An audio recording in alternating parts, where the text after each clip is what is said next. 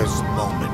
Ever since they left my care, I have been counting the minutes until their return.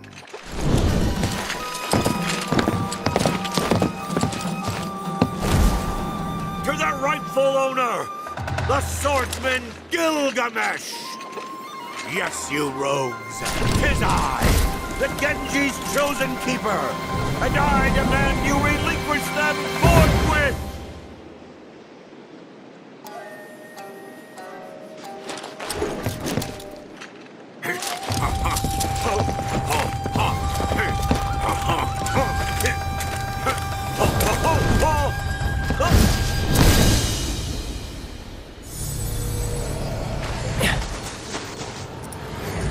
Huh? What? But... uh, oh... My shining beacons of martial prowess! Blemished and begrimed and befouled! Oh. How could you be so utterly remiss in their care? Wasn't us. We found him like that. Mm-hmm. Unbelievable. Veritable pearls cast before swine. Fret not, my darlings. Daddy's here now. He's going to fix you up good as new. You'll see.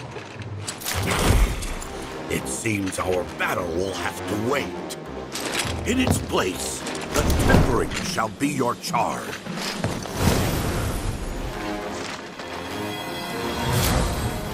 What? You thief! Ha ha ha! Says the knave who stole them first! What did you call me?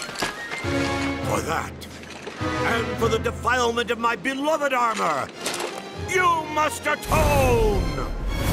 Fine. We'll fix him. And when we're done, we'll keep him.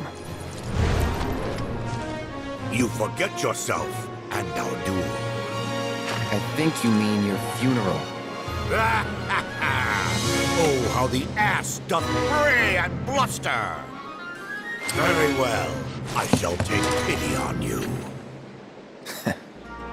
Your task is to travel round in search of ritual shrines, and at each, reforge the Genji in the fires of battle. As the flames lap my beauties, they shall grow stronger and regain their brilliance. Now, go forth and fight.